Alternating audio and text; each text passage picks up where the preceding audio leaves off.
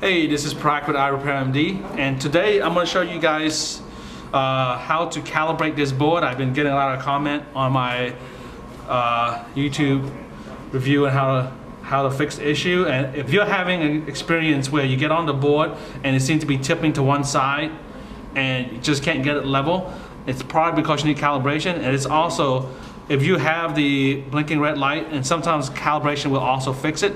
In order to calibrate, you have to make sure that the board is on a flat surface, okay? As you can see right here, keep it on a flat surface and power the board down. And what you wanna do is, while it's level and flat like this, keep the power button down for say 10 seconds. I'll tell you here a beat. Then you let go, you get this red button right here, this red indicator. Okay, and you'll see the blinking blue lights around. And let this happen for seven minutes, and then you can turn it off and turn it back on again. And the, the, the key is to keep it on a flat surface and make sure that everything is, is parallel, okay?